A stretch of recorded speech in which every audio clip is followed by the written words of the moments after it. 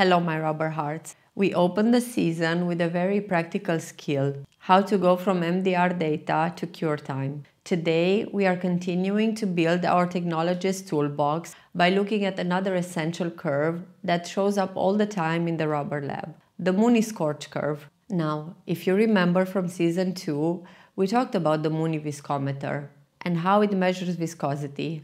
But today we are going to focus on one very specific use, scorch testing. So what is Mooney scorch? In simple terms, it's a test that tells us how much safe processing window we have before our compound starts to vulcanize. The Mooney viscometer runs the rubber at a set temperature, usually something like 121 degrees Celsius or 135 degrees Celsius, and records viscosity over time. At first, the viscosity is stable, and then suddenly you see it start to rise. That's scorch. It means cross-linking has started, and if this were happening in your mixer or extruder, you'd be in trouble. The instrument reports values like T5 or T35, which means the time it takes for the viscosity to increase by 5 or 35 units from the baseline. These numbers are not cure times, but they are critical for processing. They tell you whether your compound will survive the mixing, the extrusion, or the molding process without prematurely curing. Here is why this matters in practice. Imagine you are extruding a profile that takes 3 minutes to run through the line. If your scorch time is only 2 minutes at processing temperature, that profile is going to scorch and ruin your day. On the other hand, if your scorch time is 10 minutes, you've got plenty of safe margin.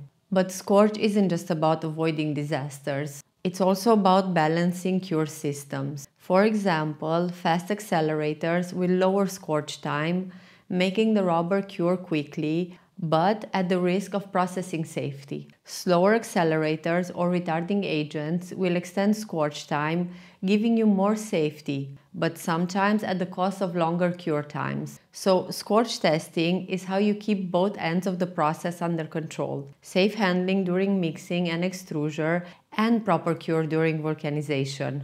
As a practical example, let's say you are making a compound for injection molding.